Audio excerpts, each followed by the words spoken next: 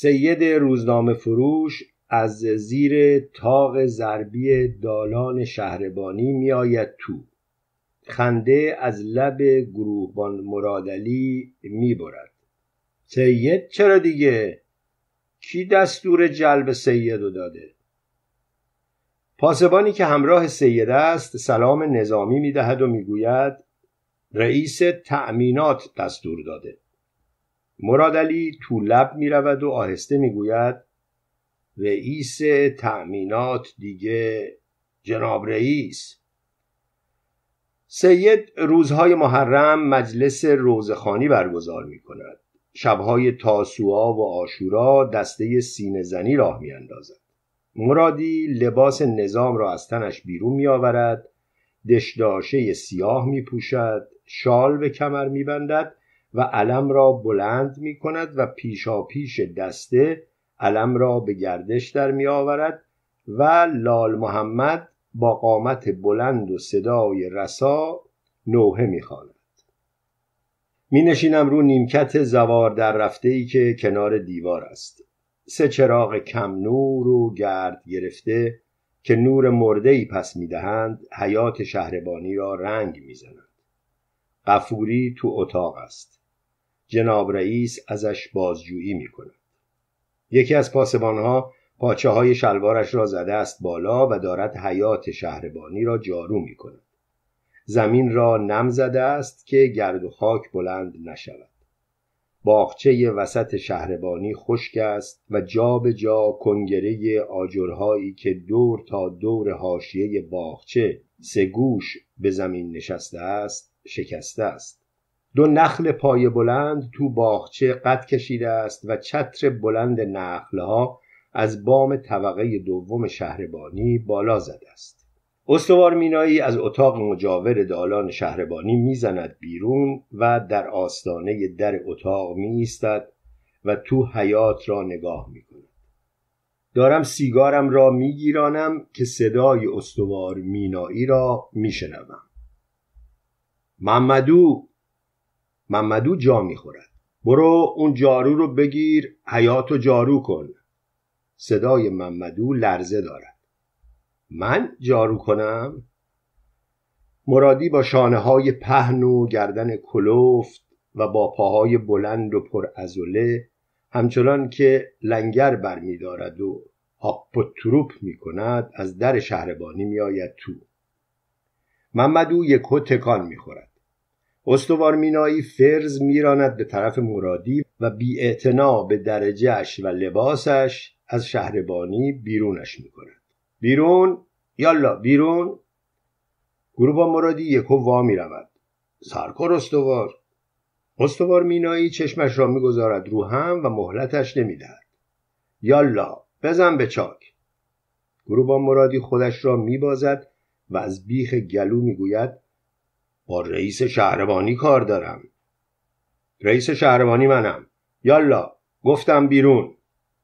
قامت استوار مینایی دست کمی از گروهبان مرادی ندارد. محمدو راه میافتد به طرف گروهبان مرادی. گروهبان مرادلی با پای لنگش نیمچرخی می‌زند و سر راه محمدو را می‌گیرد. مگه نشنیدی بچه؟ برو جارو رو بگیر دیگه. پاسبانی که پاچه های شلوار را بالا زده است قد راست می کند و میآید به طرف محمدو و جارو را می‌دهد به دستش. استوار مینایی گروهبان مرادی را از در شهربانی بیرون می کند و برمیگردد تو شهربانی و چند لحظه به محمدو که حالا جارو می کند نگاه می کند و بعد سرش را می اندازد پایین و می رود تو اتاق.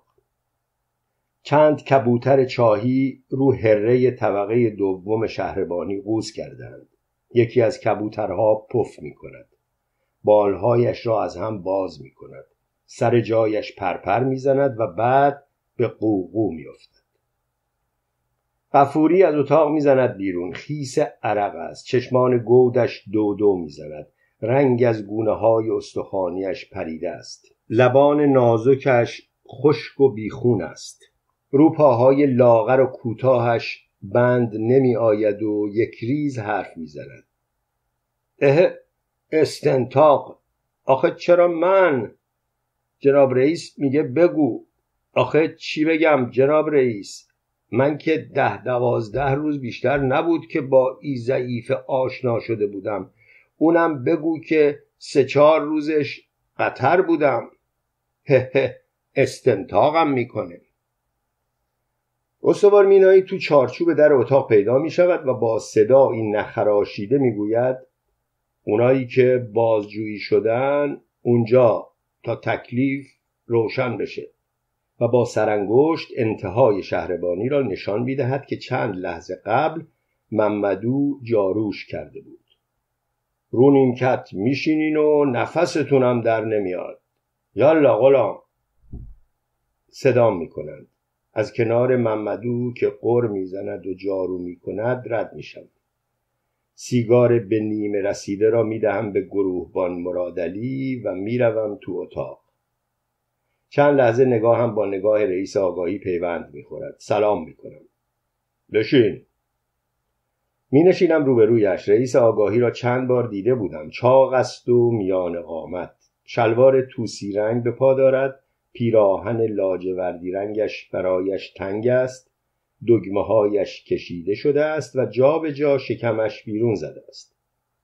میان سرش تاس است شقیقه هایش سفیدی می‌زند. نگاهم می‌کند و آرام می‌گوید البته باید بدونی قضیه چیه. آرام نگاهش می‌کنم و می‌گویم یه چیزایی شنیدم.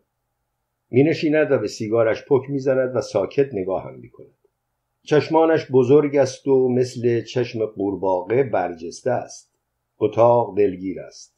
گچ دیوارهایش کهنه شده است. بوی سیگار و بوی کهنگی قاطی هم شده است. نور زرد چراغی که از سقف آویزان است رو دل سنگینی می کند. میز رئیس آگاهی شلوغ است. کاغذ خشک کن خطکش پرونده کارتون قلمدان شیشه جوهر قوطی سیگار و چند آتاشقال دیگر قاطی هم رومیز انباشته است. میز آنقدر تیره است که نمی‌دانم چه رنگی است. تابلو نمودار جرائم پشت سر رئیس آگاهی چسبیده است که سفید است. کنار نمودار در سنگین سربی رنگ گاف صندوقی است که تو دیوار کار گذاشته شده است و لابد جای اسلحه کمری و یا اسناد و اوراق محرمانه است. عرق خوردی سرم را تکان می‌دهم. می‌گوید البته بوش میاد. به سیگارش پک می‌زند و میگذاردش تو صدف بزرگی که پر است کونه سیگار. جسد شریفه رو دیدی؟ نگاهش می‌کنم. لبهایم به سنگینی سرب رو هم نشسته است. رئیس آگاهی از پشت میز بلند می شود و دری را که به اتاق دیگر باز می شود باز می کند و با سر بزرگش اشاره می کند که دنبالش بروم. به سختی از رو صندلی بلند می شوم و همراه رئیس آگاهی می روم تو اتاق مجاور. بوی گوشت فاسد شده می آید اتاق تاریک است. چراغ را روشن می کند جسد شریفه را گذاشتند رو لنگه در کوتاهی و لنگه در را گذاشتند رو نیمکت. رو جسد لنگ کهنه کشیدند. رئیس آگاهی لنگ را از رو صورت جسد پس می‌زند. شریفه است. دور چشمانش چنان پف کرده است که حتی خط چشم ها هم پیدا نیست. یک دسته از مویش پخش شده است تو صورتش. دهان جسد نیمه باز است و ماسه های کنار دریا به گونه هایش چسبیده است. صدای رئیس آگاهی را می شنوم. خودشه البته سر تکان می‌دهم چهره جسد را می پوشاند. پاهای شریفه از لنگه در درازتر است و لنگوت تا زانویش را پوشانده است. خلخالهای نقره‌ای رو مچ پاهایش به گوشت نشسته است. رئیس آگاهی در اتاق را میبندد و مینشیند پشت میز. سیگارش تو صدف خاکستر شده است. می‌پرسم اجازه میدین سیگار بکشم؟ می‌گوید بکش. البته سیگارم را میگیرانم. البته وقتی جسد شریفه رو کنار دریا دیدی رفتی عرق خوردی. به سیگار پک می‌زنم و چیزی نمی‌گویم. باید خیلی ناراحتت کرده باشه البته. انگار که قصد دارد از عرق خوردنم بل بگیرد. زیر لب زمزمه می‌کنم. با این وضعی که داره همه کس ناراحت میشه. چیزهایی رو کاغذ می نویسد و ازم می‌پرسد چند وقت بود که میشناختیش؟ البته دقیق بگو. سه چهار ماه. سه ماه یا چهار ماه. براتون چه فرق می‌کنه؟ قلم را می‌گذارد رو میز جعبه سیگار همابیزی را برمیدارد با حوصله سیگاری میگیراند پک می‌زند و چشمان گشادش را گشادتر می‌کند و شمرده می‌گوید دارم ازت بازجویی می‌کنم. البته باید درست جواب بدی. هیچ جدی به نظرم نمی آید دارد انجام وظیفه می کند از حرف زدنش و از رفتارش پیداست. لابد چون شریف فاحشه بوده است و کس و کیزی ندارد. آهسته می‌گویم حالیم هست جناب رئیس. قبقبش عین قبقب وزق پر و خالی می شود عمد دارد که حرف زدنش محکم و پرتوب باشد اما نیست. نوعی بیتفاوتی تو چینهای چهرهش رنگ انداخته است و مچش را باز می کند چشمان شیشه که مثل چشم قورباغه برجسته است بسته می شود و چاک دهان بزرگش از هم باز می شود شوخید که نگرفته البته. نمی‌دانم چه باید بگویم. با ته چوب سیگار پاد زهری رنگش گونه های گوشتالو و شقیقه های سفیدش را میخاراند و می‌گوید ده حرف بزن البته. اجازه میدی؟ با تعجب نگاهم می‌کند که چه می‌خواهم بگویم. تحسیگار را تو صدف خاموش می‌کنم و ساکت مینشینم. در اتاق باز می شود و گروهبان مرادلی می آید تو. وقتی که حرف می‌زند لب بالایش به نوک دماغش میچسبد و به پیشانی پخش چین میافتد. جناب رئیس گیلان رفته مقویه فرمایشی نیست دیگه. رئیس آگاهی گردن می‌کشد و می‌گوید البته که هست. کی گفت رفته مقویه لب بالای گروهبان مرادلی با نوک دماغش جفت می شود و می‌گوید زنش گفت دیگه جناب رئیس. البته نگفت که چه وقت رفته. گفت امروز بعد از ظهر رفته دیگه جناب رئیس. رئیس آگاهی چند لحظه فکر می کند بعد قبقبش پر خالی می شود و می‌گوید قبل از پیدا شدن جسد یا بعد؟ وزیر لب آهسته اضافه می کند البته گروهان مرادلی رو پای لنگش جابجا جا می شود و می‌گوید دیگه نپرسیدم جناب رئیس. نفرمودین که بپرسم جناب رئیس. اجازه بفرمایید برم بپرسم دیگه جناب رئیس. رئیس آگاهی با ته چوب سیگار درازای بینی بزرگش را میخاراند و می‌گوید ماشین حسن گکو رو وردارین برین دنبالش. البته اگه هستش مراد علی سرش را بالا می‌گیرد و می‌گوید دیگه چی جناب رئیس؟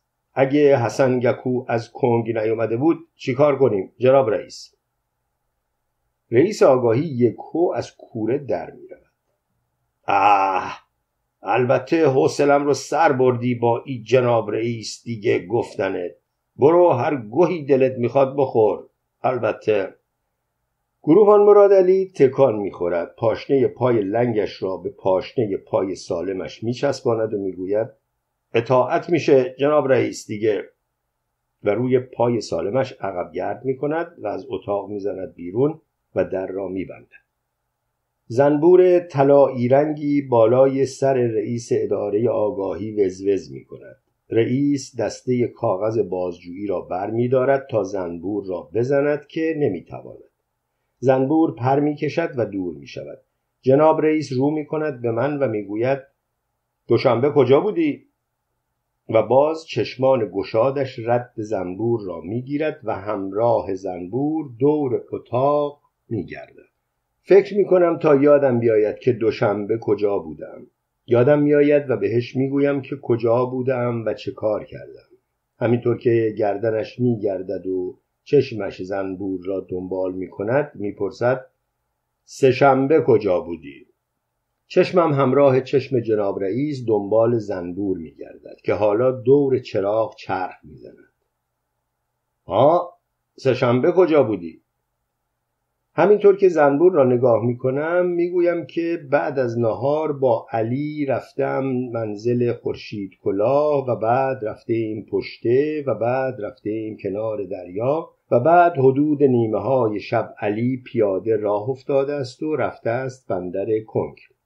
جناب رئیس یکهو نگاهش را از زنبور می‌گیرد و چشمان گشادش را تنگی می کند و می‌گوید علی که رفت بندر کنگ البته تو چیکار کردی؟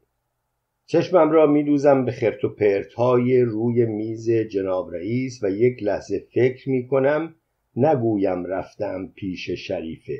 اما ترسم این است که نتوانسته باشم فکرم را جمع و جور بکنم و دروغم را تا آخر حفظ بکنم. اینطور است که صاف و پوسکنده بهش می‌گویم که رفتم پیش شریفه. بهش می‌گویم که صدای پا هم شنیدم و بعد هم رفتم خانه. حدود ساعت یک بعد از نصف شب بود که از خونه شریفه زدم بیرون و رفتم خونه.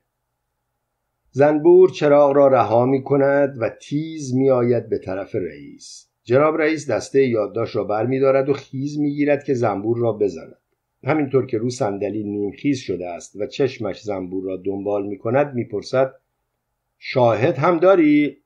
البته بی اختیار خطکش را از روی میز بر می دارم و رو می کنم به زنبور و می گویم البته راننده جهرومی گروبان صفا رئیس اداره آگاهی که از زدن زنبور معیوس شده است و زنبور پر زده است و رفته است رو کتیبه در نشسته است یادداشت را می‌گذارد رو میز و چیزهایی می نویسد و بعد نگاه هم می کند. انگار می‌خواهد بگوید که تا روشن شدن تکلیف حق ندارم از بندر لنگه بیرون بروم. که لابد یادش میآید من هر روز صبح ناچارم بروم پادگان حاضری بدهم و تا یک سال و چند ماه دیگر حق ندارم پایم را از بندر لنگه بیرون بگذارم و حق ندارم که صدایش را میشنوم. زامن داری البته. وزوز زنبور بلند می شود رو صندلی نیمخیز می شوم خطکش را بالا می گیرم زنبور بالای سرم می گردد دو بار خطکش را حوالش می کنم که هر دوبار خطا می رود. زنبور درست بالای سرم می گردد چشمایم دارد تار می شود ترسم این است که بار سوم باز خطکش خطا رود. آهسته دستم را بالا می‌برم تا زنبور را بزنم که یک هو دسته یادداشت محکم به سرم کوبیده می شود زنبور پر می کشد به طرف چراغ. رئیس آگاهی که انگار شرمنده شده است نگاه هم می کند و می‌گوید ببخشید البته ای زنبور خیلی تیزه هیچ که حریفش نمیشه. یک لحظه بعد می‌گوید من که حریفش نمیشم البته خطکش را می‌گذارم رو میز و می‌گویم بله خیلی تیزه. جناب رئیس دسته یادداشت را جمع جور می کند و می‌گذارد جلوش و می‌گوید امروز روز سومه که پیداش شده. زنبور رو میگم. بعد یک هو انگار که یادش آمده باشد دارد ازم بازجویی می کند قبقبش را پر می کند و چشمان شیشهیش را به چشمانم می دوزد و می پرسد زامن البته داری؟ می‌داند که حتی اگر بخواهم هم نمی‌توانم از بندر لنگه فرار کنم. می‌داند که تمام بندر لنگه است و ماشین لکنته حسنگکو که تا کنگ بیشتر نمی رود و جیبها و کامانکار گردان که از هیچ کدامشان نمی‌توانم استفاده کنم. و تازه مگر گذشتن از پلزار و رفتن از برکه سفلین به بندر محتابی کار آسانی است؟ نداری؟ باشه. ولی البته حق بیرون رفتن از شهر نداری. سیگاری میگیراند و می‌گوید برو بیرون به علی دادی بگو بیاد. البته. علی دادی خیلی معطل نمی شود رئیس آگاهی ازش می‌پرسد که شنیده است شریفه از او نان می خریده است و پرسیده است که چند روز است برای خریدن نان پیدایش نشده است. و یکی دو سوال بی ربط دیگر و بعد ردش کرده است که برود و به کار و زندگیش برسد. علی دادی خنده به لب از اتاق رئیس آگاهی میآید بیرون. گروهبان مرادلی سر راهش را می‌گیرد. اونجا دیگه و اشاره می کند به جایی که قفوری نشسته است. اخم علیدادی تو هم می رود و می‌گوید خودش گفت برم. خود جناب رئیس گفت که کاری بام نداره. رئیس آگاهی سرش را از لای لنگه های در بیرون می آورد و اشاره می کند که علیدادی را بگذارند برود. بعد دور تا دور حیات شهربانی را نگاه می کند و بلند می گوید محمدو. علی دادی که از کنارم رد می شود بیخ گوشم می گوید تو هم جسد و دیدی؟ گروبان مرادلی لنگ لنگان می آید جلو و می گوید چی دارین تو گوش هم میگین؟ دیگه و آرنج علیدادی را می‌گیرد و آهسته هلش می‌دهد به طرف دالان شهربانی و می‌گوید بیرون محمدو خود باخته و دست پاچه می‌رود تو اتاق قفوری آن سر حیات شهربانی نشسته است و پای لاغرش را رو پا انداخته است و سیگار دود می کند. مرادلی می‌گوید که بروم کنار قفوری بنشینم. سید کنار دیوار چنباتمه زده است و سکوت کرده است. از جلوش که رد می‌شوم بهش لبخند می‌زنم اما انگار نه انگار. سید گوشه لنگوته ای را که دور گردن انداخته است به دهان گرفته است و می جود و نگاهش سرگردان است می نشینم کنار قفوری آرام ندارد نعل آهنی پاشنه کفشش با قلب سنگ های کف حیات شهربانی ضرب ریز و تندی گرفته است. پاهایش که رو هم افتاده است می لرزد. ازش می‌پرسم تو هم می‌رفتی خونش؟ چشمانش تو کاسه گود چشم میگردد و نگاه هم می گونه های استخانیش زردی می‌زند. صدایش لرزه دارد.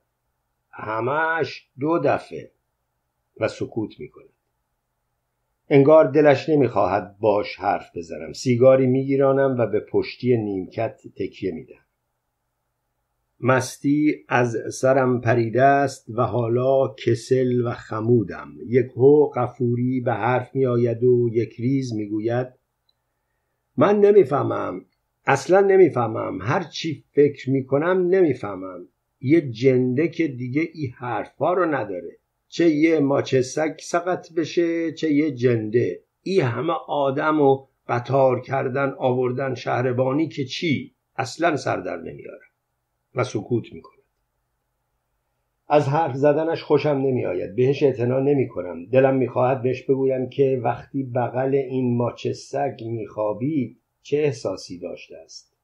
اما نمی گویم و به سیگارم پک می‌زنم و طبقه دوم شهربانی را نگاه می کنم.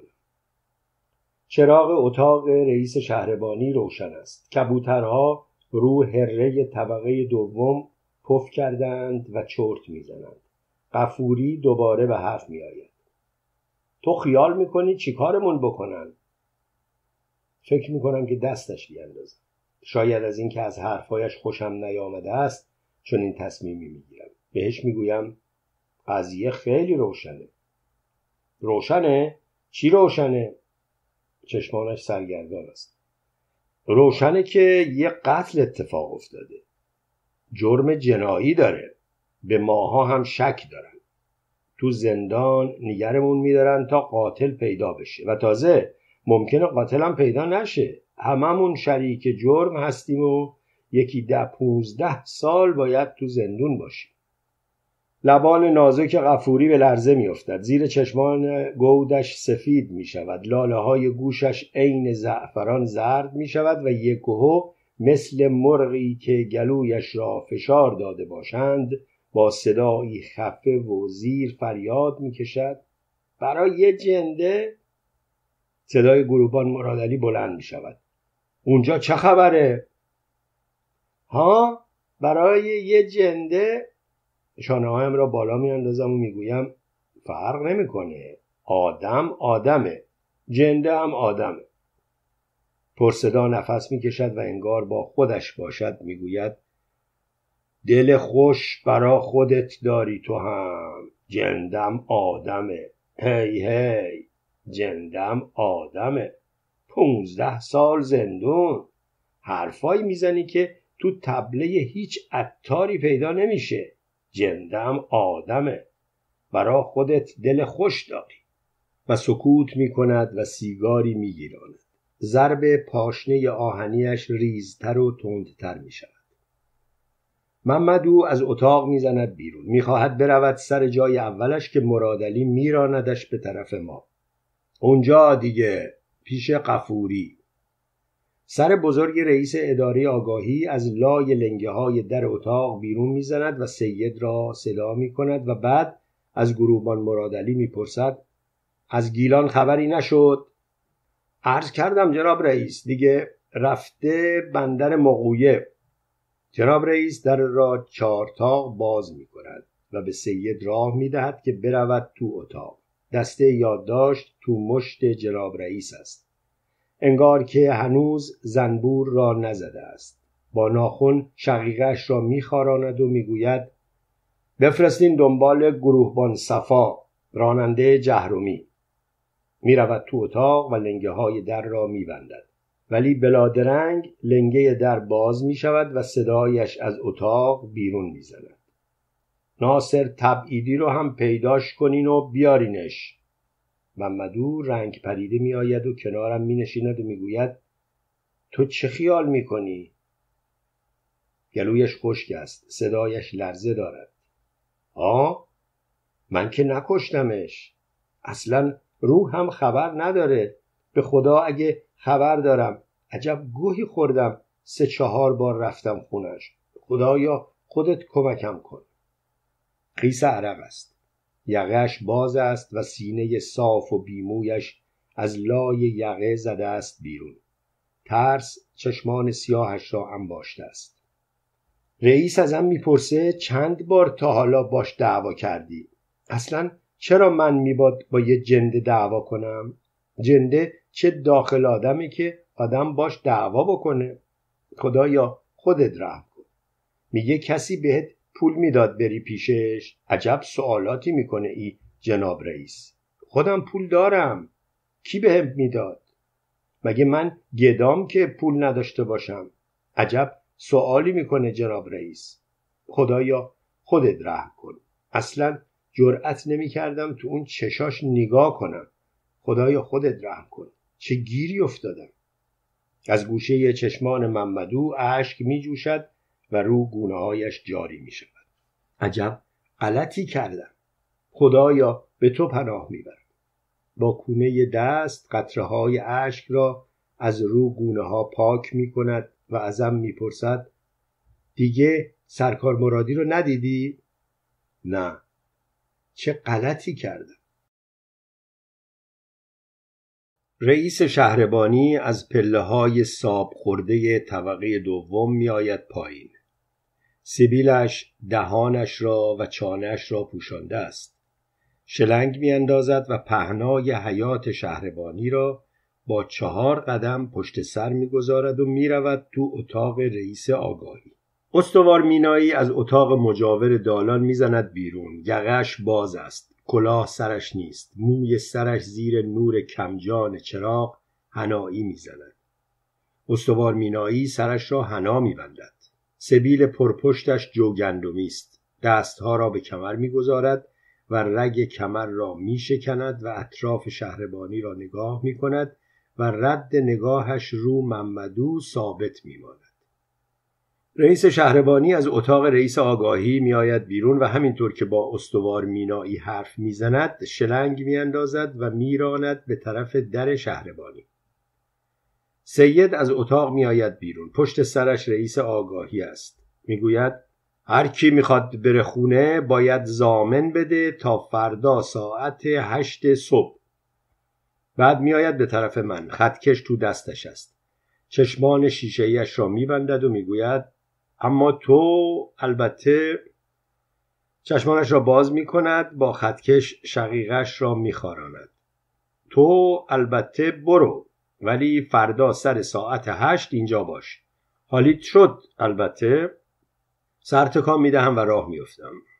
تو دالان شهربانی با راننده جهرومی سینه به سینه می شوم که همراه یک پاسبان دارد میآید تو. سر راهم را می گیرد چی شده؟ خودت می‌فهمی. بازوهایم را می‌گیرد. یعنی چی خودت می‌فهمی؟ بهش می‌گویم که قضیه شریفه است. خب به من چه؟ صدای گروهبان مرادی در میآید. دارین تبانی می‌کنین دیگه. و لنگ لنگان راه میافتد به طرفمان و به پاسبان میتوپد که کنار ایستاده است تا حرفمان را بزنیم. به ناسلامتی تو هم زابطی دیگه. چرا می‌ذاری اینا تبانی بکنن؟ چشمان سبز راننده جهرومی دو دو می‌زند. پنجه هایش را از بازوهایم جدا می‌کنم و راه میفتم صدای راننده جهرومی را میشنوم. آخه با من چه کار دارین؟ صدای گروهبان مرادلی بلند می‌شود. دلمون برات تنگ شده دیگه. یک لحظه دم در شهربانی میستم و راننده جهرومی را نگاه می‌کنم که انگار دست پاچه شده است. صدا تو گلویش گره می‌خورد. اینو قیافش سه شی پول خورد نمیارزه. گروبان مرادلی از کوره در می‌رود. بیا برو تو. و شانه راننده جهرومی را می‌گیرد و هلش می‌دهد تو حیات و ادامه می‌دهد. الان نشونت میدم که ای قیافه صد تومنم بیشتر میارزه. از شهربانی می‌زنم بیرون. از جمعیت خبری نیست اما مرادی هنوز ایستاده است رو سکوی مقابل در شهربانی و به دیوار تکیه داده است و سیگار می‌کشد. زن سید و برادر قفوری هم هستند. بهشان می‌گویم که باید زمانت بدهند. مرادی تا میبیندم از دیوار کنده می‌شود و میآید به طرفم. ببینم محمدو رو که اذیت نکردن. نه بابا. خیالت راحت باشه. فوقش سه سال زندون. یکو خون به صورتش میجهد و رگهای گردنش تند می‌شود. سه سال زندون؟ مگه شهر هرته؟ می‌زنم زیر خنده و بهش می‌گویم شوخی کردم بابا. تو هم چقدر زود از کوره در میری. سیگار تعارفم می‌کند و می‌گوید حالا محمدو چی کار می‌کنه اون تو؟ خیالش رو راحت می‌کنم. هیچی بابا. چهار تا سوال آبکی می‌کنن. اونم برا خالی نبودن عریزه یه جوری براش زامن جور کن تا فردا صبح. کبریت می‌کشد. سیگارم را روشن می‌کند و شلنگنداز راه میافتد که اگر قبول کنند زامن محمدو شود. تو بازار مسا هیچ کس نیست. همه جا بسته است. یکهو صورت پف کرده شریفه برایم شکل می‌گیرد. کوچه ها تاریک است. شب آخر ماه است قبار نازکی از خاک حجم بازار مساه را پر کرده است یک گله سگ ریز و درشت سگ ماده ای را دنبال کردند گاهی میغرند و به همدیگر نیش نشان می‌دهند جا به جا گاوها رو زمین خوابیدند و نشخار می کنند. نزدیک کوچه خنجی ها بوی فخاره فضا را پر کرده است. اول قصد می کنم بروم خانه. بری خونه چی کار کنی؟ از تنهایی کلافه میشی. میرم دو سه گیلاس عرق گرماگر می‌خورم و مثل خر میخوابم.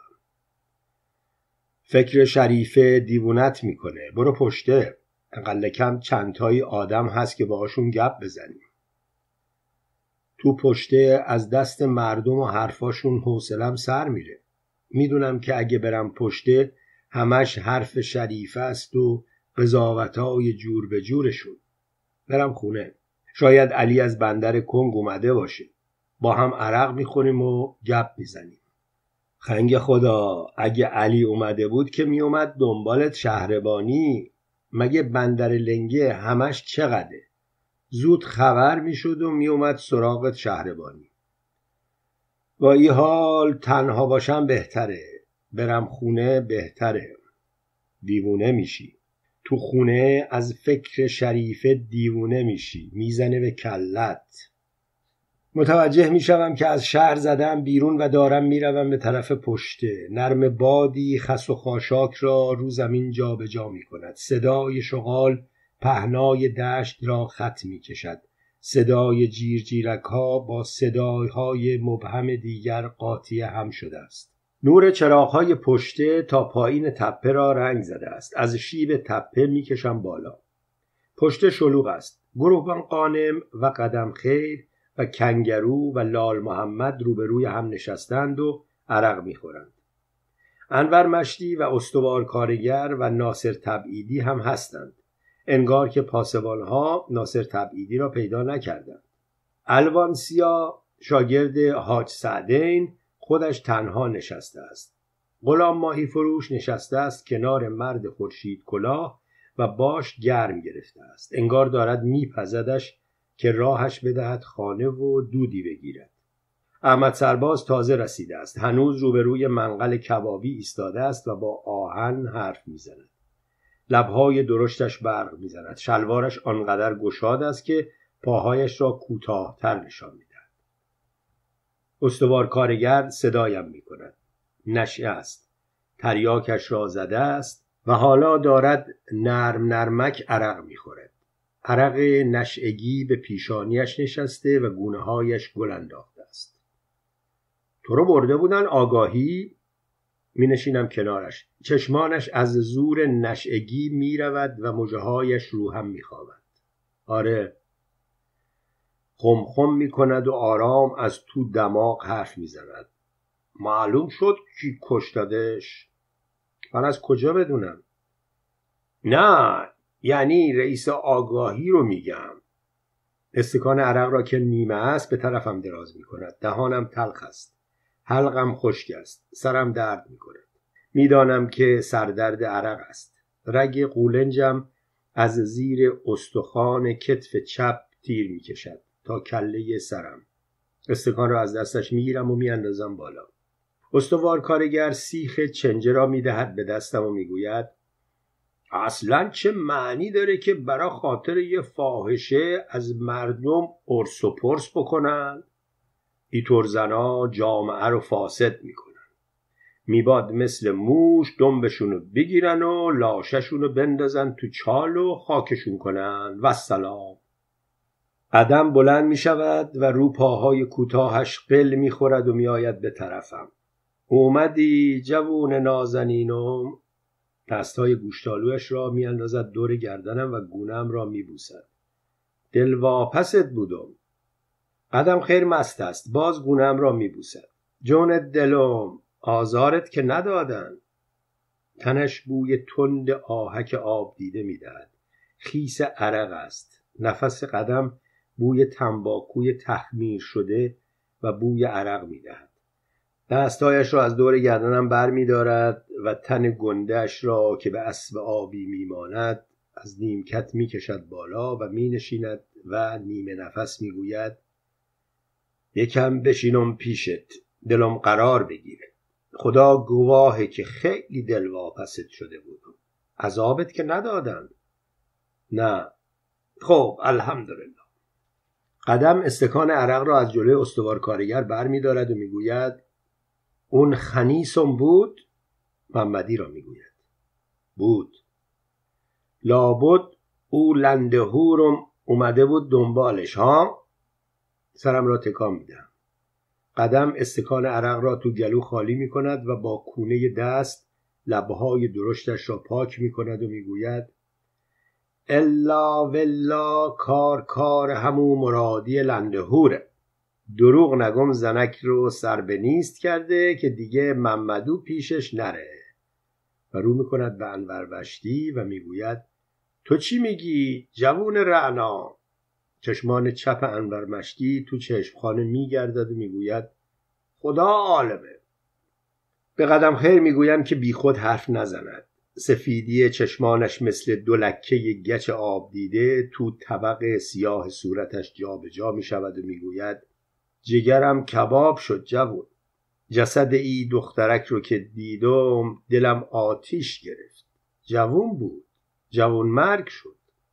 استکان عرق را که می‌خورم انگار که آب رو آتش ریخته شده باشد سردردم خوب می شود قدم باز دستش را میاندازد رو شانم و می‌پرسد با تو چیکار داشتن جون دلم؟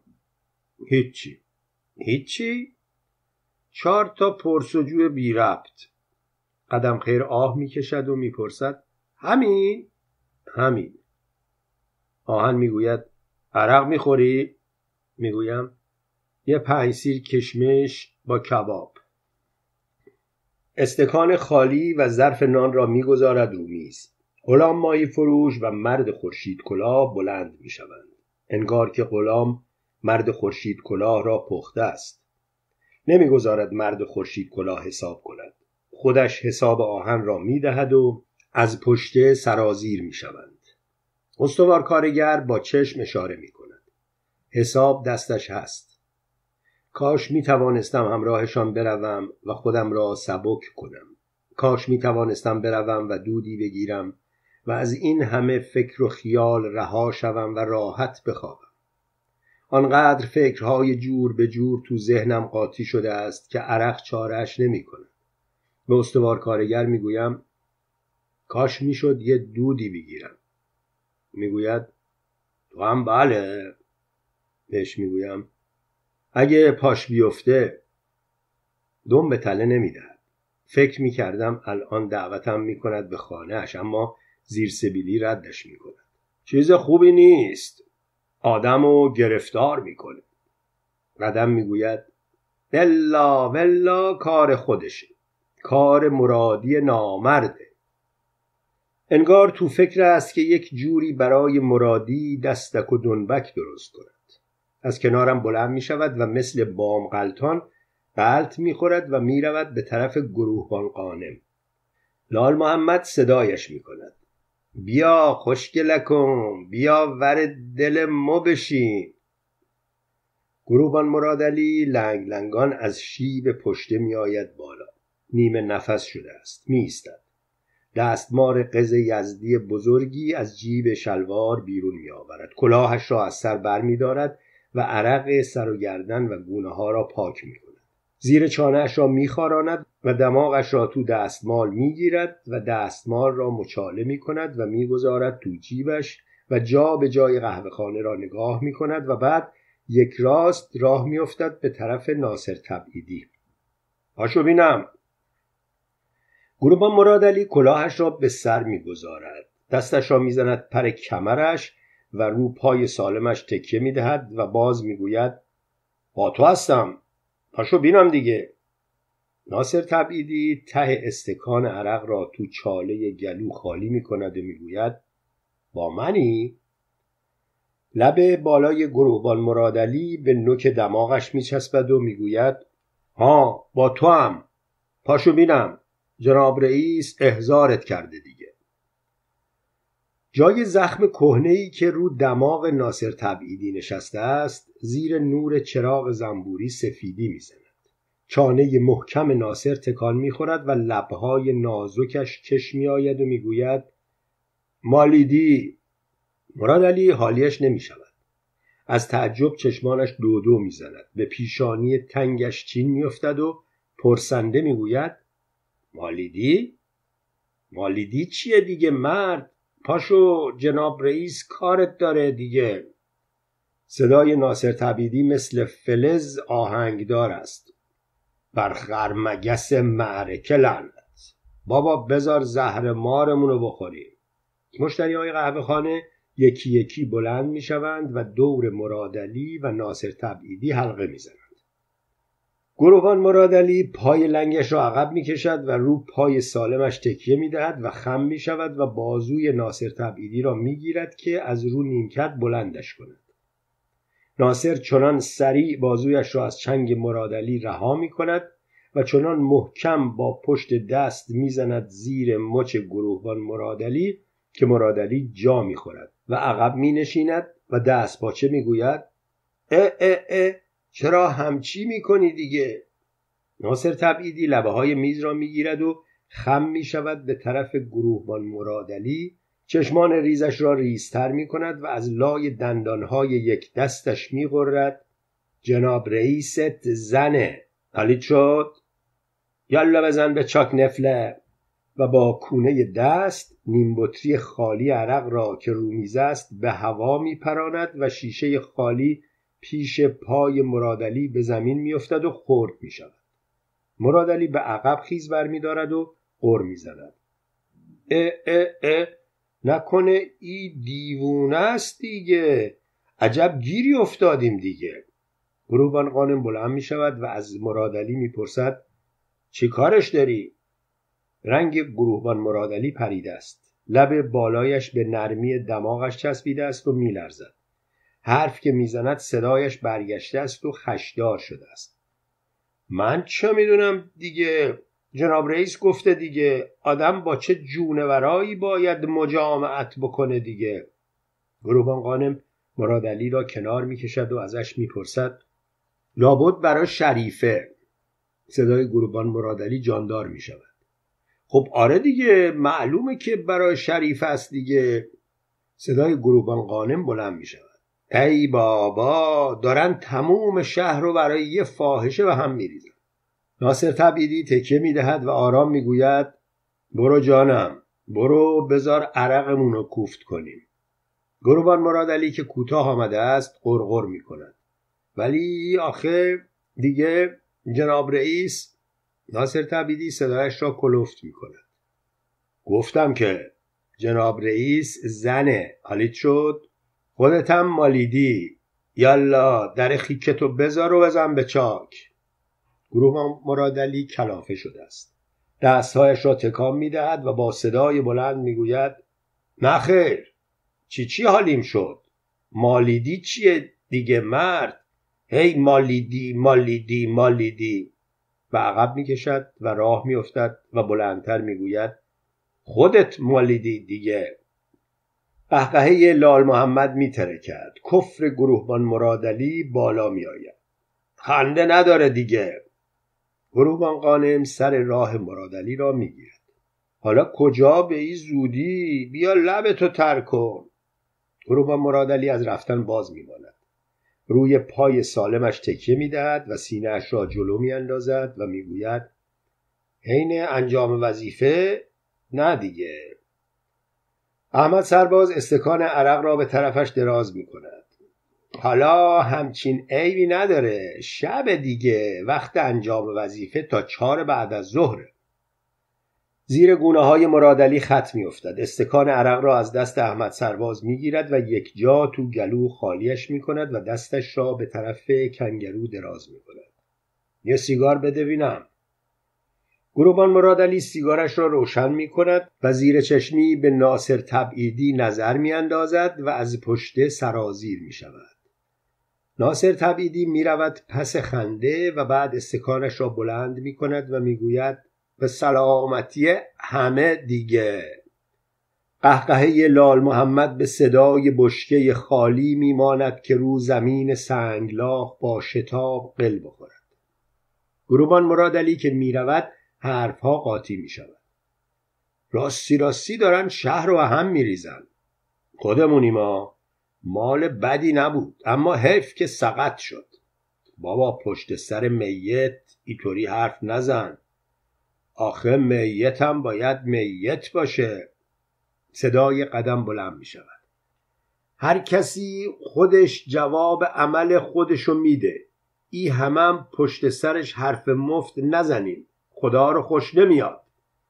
قدم به کسی مهلت حرف زدن نمی‌دهد هرچی بود برا خودش بود. بد بود یا خوب بود به کسی ربطی نداره.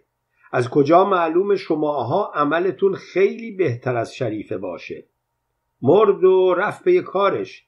ولی شماها هنوز ولش نمی کنید تا زنده بود که هیچ کدومتون درد دلشو نپرسیدین که ببینین چرا جلده شده. حالا همتون برام آدم شدید. همتون برام صالح شدید. جنده اگه جنده است کی جندش می‌کنه؟ همین شماها. همین مرادی نرخر لندهور که الا و ولا کار خودشه. خودش شریفه رو سر به نیست کرده که ای بچه مخنس نره پیشش. حالا شما هی پشت سر مرده نشستین و چرت و پرت میگین. اگه راست می‌گفتین وقتی زنده بود یکیتون می‌رفت و دستشو می‌گرفت و مینشوندش و سر به راهش می‌کرد. آب توبه رو سرش میریخت. همتون دلتون می‌خواست که یه دقیقه برین عشقشو برسین و بعدشم انگار نه انگار. هیچ کدومتون مرد این نبود که از خاک بلندش کنه. قدم مست کرده است. یک ریز حرف می‌زند. همه مشتری های قهوه خانه ساکت شدند قدم خیر ایستاده است وسط قهوه خانه دهانش کف کرده است و بلند حرف می‌زند. اصلا تو ای دور زمونه مرد کجا پیدا میشه؟ بیا. این مرادی لندهور. روزای اول که اومده بود لنگه چه موسموسی دنبالم کرد. تا که راش دادم به خونم. تن لعش بیار اومد تو خونم افتاد و هرچی داشتم نفله کرد. حتی علنگوهام و براش فروختم و خرجش کرد. بیا.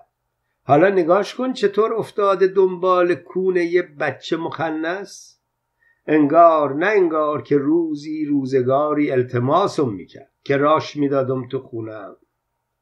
پا به پا می شود و صدایش را کلفت می کند و ادای مرادی را در می آورد قدم جون من عاشقتم. نفسم برا تو میره و میاد. اگه محلم نزاری خودم و می‌کشم میمیرم. بی تو نمی‌تونم زندگی کنم. دستش را تو هوا میگرداند و ادامه می‌دهد. بیا حالا نگاش کن. اون سیبیلاشو نگاه کن که برا تو کون خر خوبه. خجالت نمی‌کشه که افتاده دنبال یه بچه مخنس لابد وقتی منم مردم همین حرفا رو پشت سرم می‌زنین ها؟ همه می‌دونستن که شریف جنده بود. اما ببینم یه مرد تو تموم این شهر پیدا شد که دستشو بگیره و از خاک بلندش کنه؟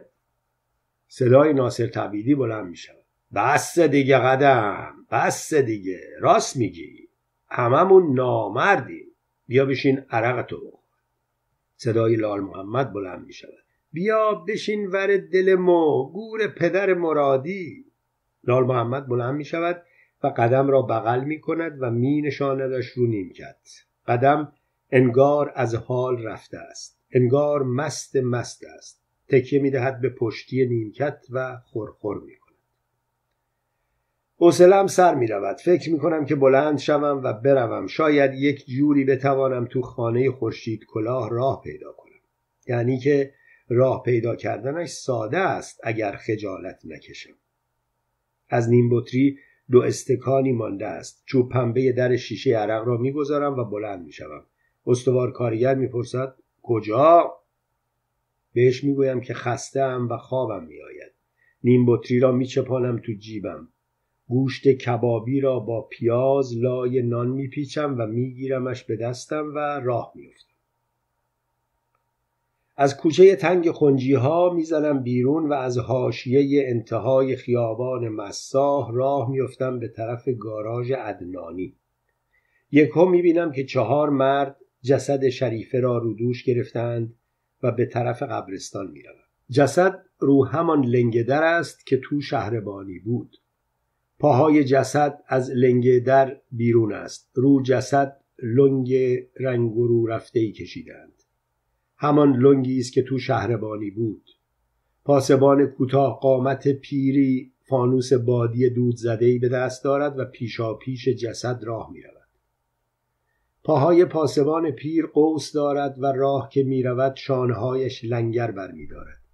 می ایستم و تابوت را نگاه می کنم که از جلوم می گذرد. تو کوچه ظلمات است. فانوس رنگ مردهی به خاک کف خیابان می‌زند. یک هو دلم آشوب می شود زانوها می لرزد و گوشهایم صدا می دهد هنوز تابوت دور نشده است که یک هو هرچه خورده ام برمیگردانم. دارم خفه می شوم به چشمانم اشک می نشیند چندک می زنم و استفراغ می کنم نان و کباب را که تو مشتم است پرت می کنم سگ پشمالویی که کنار دیوار خوابیده است بلند می شود و جلو می آید و بنا می کند به خوردن نان و کباب. روده هایم دارد بالا می آید دیگر چیزی تو شکمم نیست اما پشت سر هم اوق می زنم نفسم بند آمده است. از دور به فانوس بادی نگاه می کنم که تکان می خورد و پاهای کج پاسبان پیر تو نور کمرنگش مثل تیغه های قیچی باز و بسته می شود باز اغ می‌زنم. معدم خالی خالی شده است. تو دهانم آب جمع می شود دهانم ترش است. بیخ گلویم تلخ است. سرم گیج می رود خودم را می کشم پناه دیوار. می نشینم و تکیه می دهم تا حالم جا بیاید. یک گله سگ از تو دهانه تنگ کوچه خنجی ها بیرون می ریزد سگها هجوم می‌برند به سگ پشمالو قشقرقی به پا می شود گرد و خاک کوچه را پر می کند سگ زرد یغوری از لای دندانها میغرد و حمله می کند به سگ پشمالو و نان را از دهانش می‌گیرد و خیز بر می دارد به طرف پرچین باغ ادنانی سگها همه به دنبالش کشیده می شوند دستم را می گیرم به دیوار و سر پا می ایستم و تو باغ ادنانی را نگاه می کنم نور لامپا ایوان را روشن کرده است. غلام ماهی فروش دارد تریاک می کشد مرد خورشید کلاه بیل را بر می دارد و هجوم می برد به طرف سگها و می تاراندشان و از در بزرگ باغ بیرونشان می